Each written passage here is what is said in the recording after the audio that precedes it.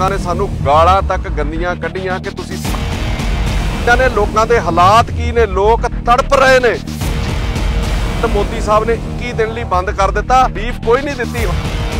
Mission ਸਾਨੂੰ phone ਕਰ ਰਹੇ ਨੇ, ਲਿਸਟਾਂ ਬਣਾ ਕੇ ਕਿ ਇੱਥੇ ਰਾਸ਼ਨ ਭੇਜ। ਦਿਓ ਨਹੀਂ ਤੇ ਸਾਨੂੰ ਲਿਸਟਾਂ ਨਾ ਭੇਜੋ। ਮੈਂ ਤੁਹਾਡੇ ਨਾਂ ਜਿਹੜੇ ਸਾਰੇ ਨਸ਼ਰ ਕਰ ਦੂੰਗਾ। ਤੋਂ ਕੱਲ ਅਸੀਂ ਕਿਹਾ ਸੀਗਾ ਕਿ ਜਿਨ੍ਹਾਂ ਜਿਨ੍ਹਾਂ ਦੇ ਘਰਾਂ ਦੇ ਵਿੱਚ ਵੀ ਬੰਦ ਦੌਰਾਨ ਕੋਈ ਰਾਸ਼ਨ ਦੀ ਦਿੱਕਤ ਆਉਂਦੀ, ਉਹਨਾਂ ਦੇ ਘਰਾਂ ਦੇ ਵਿੱਚ ਰਾਸ਼ਨ ਜਿਹੜਾ ਪਹੁੰਚਾਇਆ ਜਾਊਗਾ। ਸਾਨੂੰ ਤੇ ਇਹ ਸੀਗਾ ਕਿ 31 ਤਰੀਕ ਤੱਕ ਜਿਹੜਾ ਬੰਦ ਹੈ, ਉਦੋਂ ਤੱਕ ਇਹ ਉਪਰਾਲਾ ਜਿਹੜਾ ਅਸੀਂ ਨਿਭਾਵਾਂਗੇ। ਪਰ ਰਾਤ ਮੋਦੀ ਸਾਹਿਬ ਨੇ ਇਹਨੂੰ 21 ਦਿਨ ਦਾ ਕਰ ਦਿੱਤਾ ਔਰ ਅੱਜ ਅਸੀਂ ਜ਼ਮੀਨੀ ਪੱਧਰ ਦੇ ਉੱਤੇ ਜਿਹੜਾ ਰਾਸ਼ਨ ਵੰਡਣ ਦੀ ਇਹ ਮੁਹਿੰਮ ਸ਼ੁਰੂ ਕੀਤੀ ਘਰ ਘਰ ਜਾ ਕੇ ਲੋਕਾਂ ਨੂੰ ਬਾਹਰ ਨਾ ਆਉਣਾ ਪਵੇ ਕਿਉਂਕਿ ਬਾਹਰ ਨਿਕਲਣਾ ਔਖਾ ਸੀਗਾ, ਸੜਕਾਂ ਤੇ ਆ ਕੇ ਸਮਾਨ ਲੈਣਾ। ਔਰ ਇਹਦੇ ਨਾਲ ਨਾਲ ਇੰਨੀ ਗਰੀਬੀ ਔਰ ਇੰਨੇ ਹਾਲਾਤ ਜਿਹੜੇ ਮਾੜੇ ਸਾਹਮਣੇ ਆਏ ਔਰ ਹਾਲਾਤ ਇੱਥੋਂ ਤੱਕ ਬਦਤਰ ਸੀਗੇ ਕਿ ਜਿਹੜੀਆਂ ਜਿਹੜੀਆਂ ਸਾਨੂੰ ਫੋਨ ਕਾਲਸ ਆਉਂਦੀਆਂ ਸੀ, ਅਸੀਂ ਇਹ ਕੋਸ਼ਿਸ਼ ਕੀਤੀ ਸੀ ਕਿ ਸਮਾਨ ਉਹਨਾਂ ਦੇ ਉੱਤੇ ਹੀ ਪਹੁੰਚਾਇਆ ਜਾਵੇ। ਪਰ ਜਦੋਂ ਅਸੀਂ ਕਿਸੇ ਵੀ ਮਹੱਲੇ ਦੇ ਵਿੱਚ ਗਏ ਆ ਉੱਥੇ ਲੋਕਾਂ ਦੇ ਇੰਨੇ ਹਜੂਮ ਜਿਹੜੇ ਇਕੱਠੇ ਹੋਣ ਦੀ ਤਿਆਰੀ ਦੇ ਵਿੱਚ ਸੀਗੇ ਔਰ ਲਿਟਰਲੀ ਲੋਕਾਂ ਨੇ ਸਾਨੂੰ ਗਾਲਾਂ ਤੱਕ ਗੰਦੀਆਂ ਕੱਢੀਆਂ ਕਿ ਤੁਸੀਂ ਸਾਡੇ ਲਈ ਸਮਾਨ ਕਿਉਂ ਨਹੀਂ ਲੈ ਕੇ ਆਏ? ਕਿਉਂਕਿ ਉਹਨਾਂ ਸਾਨੂੰ ਦੱਸਿਆ ਨਹੀਂ ਸੀ ਮੈਂ ਉਹਨਾਂ ਦੀਆਂ ਗਾਲਾਂ ਦਾ ਬਿਲਕੁਲ ਗੁੱਸਾ ਨਾ ਮੈਂ ਕੀਤਾ ਤੇ ਨਾ ਸਾਡੀ ਟੀਮ ਨੇ ਕੀਤਾ। ਸਾਨੂੰ ਉਹਨਾਂ ਦੀਆਂ ਗਾਲਾਂ ਸੁਣ ਕੇ ਉਹਨਾਂ ਦੇ ਉੱਤੇ ਤਰਸ ਆ ਰਿਹਾ ਸੀ। ਕਾਰਨ ਕੀ ਸੀਗਾ? ਕਿ ਹਾਲਾਤ ਇਹੋ ਜਿਹੇ ਬਣ ਚੁੱਕੇ ਉਹਨਾਂ ਦੇ ਬੱਚੇ ਭੁੱਖੇ ਮਰ ਰਹੇ ਉਹਨਾਂ ਦੇ ਘਰ 'ਚ ਰੋਟੀ ਨਹੀਂ ਔਰ ਉਹ ਗਾਲਾਂ ਜਿਹੜੀਆਂ ਕੱਢਦੇ ਰਹੇ, ਉਹ ਚਿੰਤਾ ਦੇ ਵਿੱਚ ਤੇ ਜਿਹੜੀ ਉਹਨਾਂ ਦੇ ਮਨ ਦੇ ਵਿੱਚ ਇੱਕ ਬੇਭਰੋਸਗੀ ਹੈ ਕਿ ਅੱਗੋਂ ਰਾਸ਼ਨ ਆਉਣਾ ਕਿ ਨਹੀਂ ਆਉਣਾ, ਬੱਚੇ ਅੱਗੋਂ ਪੜ੍ਹਨੇ ਕਿ ਨਹੀਂ ਪੜ੍ਹਨੇ ਉਸ ਵਜ੍ਹਾ ਦੇ ਨਾਲ ਉਹਨਾਂ ਸਾਨੂੰ ਗਾਲਾਂ ਕੱਢੀਆਂ। ਕਿਤੇ ਨਾ ਕਿਤੇ ਉਹਨਾਂ ਦੀ ਮਜਬੂਰੀ ਜਿਹੜੀ ਸਾਨੂੰ ਝਲਕਦੀ ਸੀ। ਫਿਰ ਵੀ ਪੁਲਿਸ ਪ੍ਰਸ਼ਾਸਨ ਨੇ ਸਾਡਾ ਮੈਂ ਜ਼ਿਲ੍ਹੇ ਦੀ ਪੁਲਿਸ ਦਾ ਧੰਨਵਾਦੀ ਹਾਂ ਔਰ ਮੈਂ ਪਹਿਲੀ ਵਾਰ ਧੰਨਵਾਦ ਕਰਨ ਲੱਗਾ ਕਿ ਕਮਿਸ਼ਨਰ ਸਾਹਿਬ ਨੇ ਡੀਸੀਪੀ ਨੇ ਬਹੁਤ ਵਧੀਆ ਡਿਊਟੀਆਂ ਲਾਈਆਂ, ਪਰ ਕਿਤੇ ਨਾ ਕਿਤੇ ਲੋਕਾਂ ਦੇ ਵਿੱਚ ਇੰਨਾ ਜ਼ਿਆਦਾ ਰੋਸ ਤੇ ਇੰਨੀ ਜ਼ਿਆਦਾ ਗਰੀਬੀ ਤੇ ਇੰਨੀ ਜ਼ਿਆਦਾ ਚਿੰਤਾ ਹੈ। ਕਿਤੇ ਨਾ ਕਿਤੇ ਪੁਲਿਸ ਵੀ ਜਿਹੜੀ ਬੇਵਸ ਲੱਗਦੀ ਸੀਗੀ, ਲੋਕਾਂ ਕੋਲ ਸੱਚ 'ਚ ਰੋਟੀ ਨਹੀਂ ਹੈ। ਮੇਰੀ ਗੱਲ ਮੰਨੋ, ਇਹ ਹੁਣੇ ਤੁਹਾਨੂੰ ਵੀਡੀਓ 'ਚ ਇਹਦੇ ਵਿੱਚ, ਫੋਟੋਆਂ ਦੇ ਵਿੱਚ, ਇਹਦੇ ਵਿੱਚ ਲੱਗ ਜਾਣੇ ਨੇ ਨਾਲ ਔਰ ਫੋਟੋਜ਼ ਪਾਈਆਂ ਨੇ। ਲੋਕਾਂ ਦੇ ਹਾਲਾਤ ਕੀ ਨੇ? ਲੋਕ ਤੜਪ ਰਹੇ ਨੇ। ਜਿੰਨੀਆਂ ਸਾਨੂੰ ਕਾਲਸ ਆਈਆਂ ਆ ਹੁਣ ਅਸੀਂ ਰਾਤ ਨੂੰ ਹੁਣ ਵਿਹਲੇ ਹੋ ਕੇ ਆਏ ਆ 300 ਦੇ ਕਰੀਬ ਕਰੀਬ ਲੋਕਾਂ ਦੇ ਘਰਾਂ 'ਚ ਅਸੀਂ ਅੰਨ ਦੇ ਜਿਹੜੇ ਪੈਕਟ ਦੇ ਕੇ ਆਏ ਆ ਔਰ ਬਹੁਤ ਜ਼ਿਆਦੀਆਂ ਫੋਨ ਕਾਲ ਆ ਰਹੀਆਂ ਨੇ। ਔਰ ਕੋਸ਼ਿਸ਼ ਹੈ ਕਿ ਉਹਨਾਂ ਤੱਕ ਕੱਲ ਵੀ ਜਿਹੜੀਆਂ ਕਾਲਸ ਹੋਣਗੀਆਂ ਰੁਟੀਨ 'ਚ ਜਿਹੜੀਆਂ ਆਉਣਗੀਆਂ, ਉਹਨਾਂ ਤੱਕ ਰਾਸ਼ਨ ਪੁੱਜਦਾ ਕੀਤਾ ਜਾਊਗਾ ਔਰ ਬਹੁਤ ਜ਼ਿਆਦਾ ਸਾਥ ਦੀ ਲੋੜ ਹੈ। ਕਿਉਂਕਿ ਕੱਲ ਮੋਦੀ ਸਾਹਿਬ ਨੇ 21 ਦਿਨ ਲਈ ਬੰਦ ਕਰ ਦਿੱਤਾ। ਇਹਦੇ ਨਾਲ ਨਾਲ ਰਿਲੀਫ ਕੋਈ ਨਹੀਂ ਦਿੱਤੀ। ਹਾਂ ਹੈਲਥ ਦੇ ਉੱਤੇ ਉਹਨਾਂ ਨੇ ਆਪਣੇ ਫੰਡ ਜ਼ਰੂਰ ਜਾਰੀ ਕੀਤੇ। ਲੋਕਾਂ ਕੋਲ ਰੋਟੀ ਨਹੀਂ ਹੈ ਬਦਕਿਸਮਤੀ ਕੀ ਹੈ? ਸਾਡੇ ਪੰਜਾਬ ਦਾ ਇੱਕ ਚੇਅਰਮੈਨ ਜਿਹੜੇ ਮੇਰੇ ਖਿਆਲ ਕਿਸੇ ਡਿਪਾਰਟਮੈਂਟ ਦੇ ਨੇ, ਉਹਨਾਂ ਕੋਲ ਸਾਰੇ ਏਰੀਏ ਦੇ ਗਦਾਮ ਹੋਣਗੇ। ਉਹ ਅੱਜ ਚੱਕੀ ਵਾਲਿਆਂ ਨੂੰ ਫੋਨ ਕਰਦੇ ਵੇਖੇ ਗਏ ਕਿ ਰਾਸ਼ਨ ਚਾਹੀਦਾ, ਆਟਾ ਚਾਹੀਦਾ, ਇਹ ਹਾਲਾਤ ਬਣੇ ਪਏ ਨੇ। ਸਰਕਾਰ ਨੂੰ ਗਦਾਮਾਂ ਦੇ ਮੂੰਹ ਖੋਲ ਦੇਣੇ ਚਾਹੀਦੇ ਨੇ। ਲੋਕਾਂ ਨੂੰ ਰਾਸ਼ਨ ਜਿਹੜਾ ਦੇਣਾ ਚਾਹੀਦਾ ਹਾਂ ਪ੍ਰਸ਼ਾਸਨ ਨੇ ਨੰਬਰ ਜਾਰੀ ਕੀਤੇ ਨੇ ਕਿ ਇਹਦੇ ਕੋਲ ਸਬਜ਼ੀ ਲੈ ਲਓ ਇਹਦੇ ਕੋਲ ਦੁੱਧ ਲੈ ਲਓ ਇਹਦੇ ਕੋਲ ਰਾਸ਼ਨ ਲੈ ਲਓ, ਪਰ ਮੁੱਲ ਜਿਨ੍ਹਾਂ ਦੀ ਦਿਹਾੜੀ ਨਹੀਂ ਲੱਗਦੀ, ਜਿਹੜੇ ਬੇਰੁਜ਼ਗਾਰ ਨੇ ਜਿਨ੍ਹਾਂ ਕੋਲ ਰੋਟੀ ਨਹੀਂ ਹੈਗੀ, ਉਹਨਾਂ ਪੈਸੇ ਕਿੱਥੋਂ ਖਰਚਣੇ ਸੀ? ਮੈਂ ਹੋਰ ਇਹਦੇ ਵਿੱਚ ਹੈਰਾਨਗੀ ਦੀ ਗੱਲ ਦੱਸਾਂ ਤੇ ਬਸ਼ਰਮੀ ਦੀ ਕਈ ਪੋਲੀਟੀਸ਼ੀਅਨ ਸਾਨੂੰ ਫੋਨ ਕਰ ਰਹੇ ਨੇ, ਲਿਸਟਾਂ ਬਣਾ ਕੇ ਕਿ ਇੱਥੇ ਰਾਸ਼ਨ ਭੇਜ ਦਿਓ। ਮੈਂ ਉਹਨਾਂ ਨੂੰ ਸਖਤ ਲਫ਼ਜ਼ਾਂ 'ਚ ਤਾੜਨਾ ਕਰਦਾ, ਜਾਂ ਤੇ ਆਪ ਸੜਕਾਂ ਤੇ ਉਤਰੋ। ਨਹੀਂ ਤੇ ਸਾਨੂੰ ਲਿਸਟਾਂ ਨਾ ਭੇਜੋ, ਮੈਂ ਤੁਹਾਡੇ ਨਾਂ ਜਿਹੜੇ ਸਾਰੇ ਨਸ਼ਰ ਕਰ ਦੂੰਗਾ। ਹਾਂ, ਤੁਹਾਡੇ ਘਰ 'ਚ ਰਾਸ਼ਨ ਨਹੀਂ ਹੈਗਾ, ਤੁਸੀਂ ਇਮਾਨਦਾਰ ਹੋ, ਇਮਾਨਦਾਰੀ ਦੀ ਰੋਟੀ ਖਾਂਦੇ ਹੋ ਤੇ ਤੁਹਾਡੇ ਘਰ 'ਚ ਮੈਂ ਰਾਸ਼ਨ ਜ਼ਰੂਰ ਪਹੁੰਚਾਊਂਗਾ, ਉਹ ਵੀ ਸੈਨੀਟਾਈਜ਼ ਕਰਕੇ ਪਹੁੰਚਾਊਂਗਾ, ਕਿਉਂਕਿ ਤੁਹਾਨੂੰ ਲੋਕਾਂ ਨੂੰ ਡਰ ਵੀ ਜ਼ਿਆਦਾ ਆਉਂਦਾ ਤੁਹਾਨੂੰ ਮਰਨ ਦਾ ਖਤਰਾ ਵੀ ਜ਼ਿਆਦਾ ਹਰ ਬੰਦਾ ਕਹਿ ਰਿਹਾ, ਬਾਹਰ ਨਾ ਜਾਓ। ਹਰ ਗਰੀਬ ਅੱਜ ਸੜਕ ਤੇ ਸੀ ਛੋਟੇ ਛੋਟੇ ਮਹੱਲੇ ਦੇ ਵਿੱਚ, ਉਹਨੂੰ ਉਹਦੀ ਚਿੰਤਾ, ਉਹਨੇ ਬੱਚਿਆਂ ਦੀ ਚਿੰਤਾ, ਰੋਟੀ ਦੀ ਚਿੰਤਾ ਉਹਨੂੰ ਸੜਕਾਂ ਦੇ ਉੱਤੇ ਲੈ ਕੇ ਆਈ ਸੀ। ਕਿਤੋਂ ਕੋਈ ਹੱਲ ਨਹੀਂ ਲੱਭ ਰਿਹਾ। ਔਰ ਪੁਲਿਸ ਵਾਲੇ ਵੀ ਇਸ ਗੱਲ ਨੂੰ ਮਜਬੂਰੀ ਉਹਨਾਂ ਦੀ ਸਮਝਦੇ ਨੇ। ਤੁਸੀਂ ਕੀ ਸੋਚਦੇ ਹੋ? ਮੇਰੇ ਵੀ ਬੱਚੇ ਛੋਟੇ ਛੋਟੇ ਨੇ 12 12 13 13 ਸਾਲਾਂ ਦੇ ਨੇ।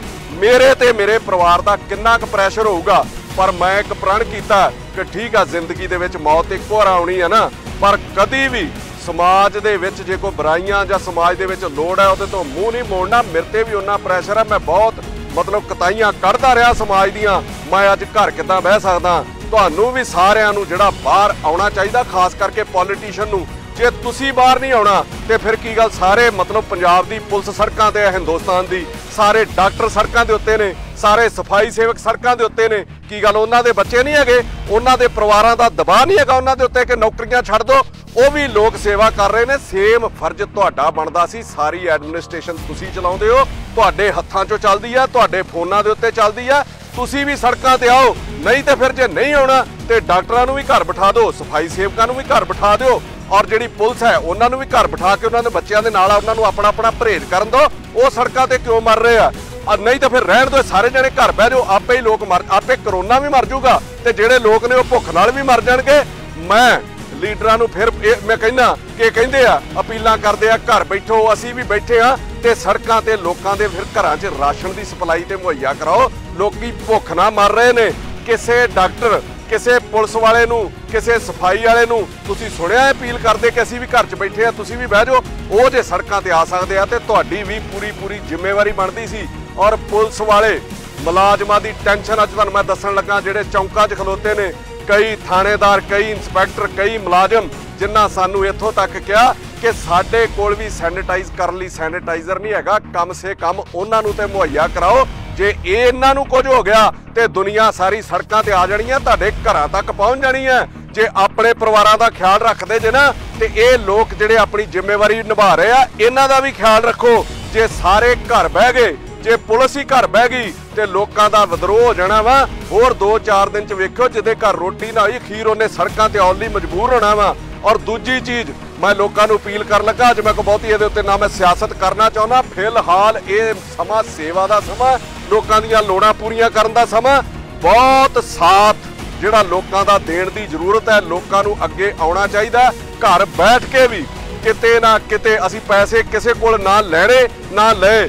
ਪਰ ਸਾਡਾ ਅੱਜ ਦਾ ਕੰਮ ਵੇਖ ਕੇ ਬਹੁਤ ਜ਼ਿਆਦੀਆਂ ਸੰਸਥਾਵਾਂ ਅੱਗੇ ਆ ਰਹੀਆਂ ਨੇ। ਉਹਨਾਂ ਦੇ ਸਾਨੂੰ ਫੋਨ ਵੀ ਆਏ ਆ। ਮੈਂ ਧੰਨਵਾਦ ਕਰਦਾ ਕਿ youth for global peace and transformation YGPT ਇਹਦੇ ਸੁਖ ਅਮਰਤ ਸਿੰਘ ਮਾਲਕ ਨੇ, ਉਹਨਾਂ ਨੇ ਅੱਜ ਸਾਨੂੰ ਫੋਨ ਕਰਕੇ ਕਿਹਾ ਕਿ 550 600 ਬੈਗ ਅਸੀਂ ਜਿਹੜਾ ਤੁਹਾਨੂੰ ਦੇਣ ਨੂੰ ਤਿਆਰ ਆ ਹੋਰ ਬਹੁਤ ਜ਼ਿਆਦਾ ਫੋਨ ਆਉਣ ਡਏ ਨੇ। ਮੈਂ ਦ- ਦੱਸਾਂ ਤੁਹਾਨੂੰ, ਦੂਰੋਂ ਦੂਰੋਂ ਫਾਜ਼ਿਲਕਾ, ਰਾਜਸਥਾਨ ਅਬੋਰ ਹੁਸ਼ਿਆਰਪੁਰ, ਪਰ ਅਸੀਂ ਲੋਕਾਂ ਨੂੰ ਕਿਹਾ ਕਿ ਅਸੀਂ ਸਿਰਫ ਅੰਮ੍ਰਿਤਸਰ ਸ਼ਹਿਰ ਦੇ ਵਿੱਚ ਇਹ ਜਿਹੜਾ ਰਾਸ਼ਨ ਸਪਲਾਈ ਕਰਨ ਦੀ ਮੁਹਿੰਮ ਸ਼ੁਰੂ ਕੀਤੀ ਆ। ਮੈਂ ਜਿੱਥੇ ਜਿੱਥੇ ਵੀ ਲੋਕ ਸੁਣਦੇ ਨੇ, ਉਹਨਾਂ ਨੂੰ ਮੈਂ ਕਹਿੰਦਾ ਉੱਥੇ ਉੱਥੇ ਟੀਮਾਂ ਬਣਾਓ, ਪ੍ਰਸ਼ਾਸਨ ਕੋਲ ਪਰਮਿਸ਼ਨ ਲੈ ਕੇ ਲੋਕਾਂ ਦੇ ਘਰਾਂ 'ਚ ਰਾਸ਼ਨ ਸਪਲਾਈ ਕਰੋ।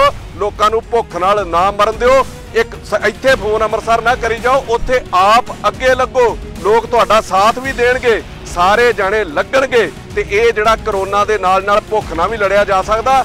ਅੱਜ ਮੈਂ ਅਖੀਰ 'ਚ ਤੁਹਾਨੂੰ ਇਹ ਕਹਿਣ ਲੱਗਾ ਕਿ ਬਹੁਤ ਕਮੀਆਂ ਸਾਡੇ ਕੋਲ ਅੱਜ ਪਹਿਲਾ ਦਿਨ ਸੀਗਾ, ਰਹਿ ਵੀ ਗਈਆਂ ਹੋਣਗੀਆਂ, ਕਿਉਂਕਿ ਟੀਮ ਅੱਜ ਛੋਟੀ ਸੀ, ਅਸੀਂ ਕੱਲ 2 ਨੰਬਰ ਜਾਰੀ ਕੀਤੇ ਸੀ। ਅੱਜ ਅਸੀਂ YGPT ਨੂੰ ਇੱਕ ਰਿਕੁਐਸਟ ਕੀਤੀ ਆ ਕਿ ਸਾਨੂੰ ਕਾਲ ਸੁਣਨ ਵਾਲੇ ਬੰਦੇ ਵੀ ਹੋਰ ਚਾਹੀਦੇ ਨੇ ਔਰ ਦਿਨ ਤੋਂ ਹੀ ਡੇਲੀ ਜਿਹੜੀ ਹੋਮ ਡਿਲੀਵਰੀ ਹੈ ਸਕੂਟਰ, ਮੋਟਰਸਾਈਕਲ ਦੇ ਉੱਤੇ ਉਹ ਵੀ ਸਪਲਾਈ ਕਰਨ ਵਾਲੇ ਲੋਕ ਚਾਹੀਦੇ ਨੇ। ਉਹਨਾਂ ਸਾਨੂੰ ਹਾਮੀ ਭਰੀ ਹੈ ਕਿ ਕੱਲ ਤੁਹਾਨੂੰ ਉਹ ਟੀਮ ਜਿਹੜੀ ਪੂਰੀ ਮਿਲ ਜੂਗੀ।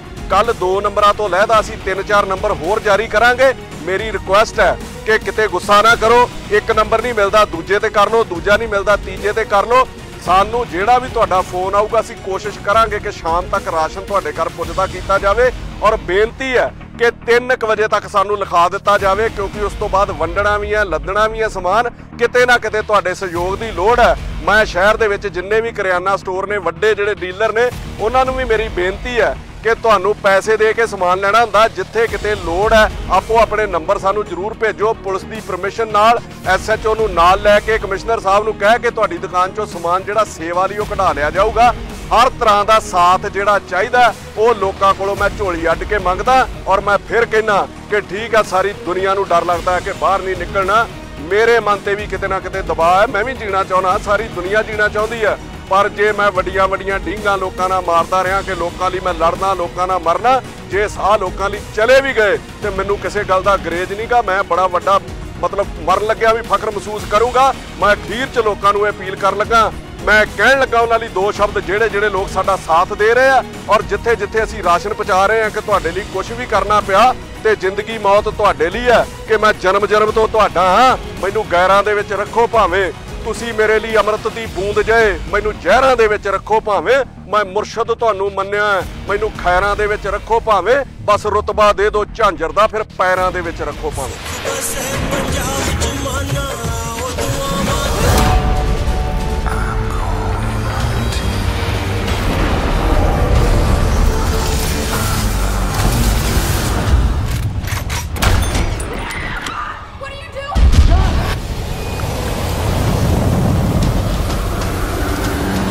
For watching.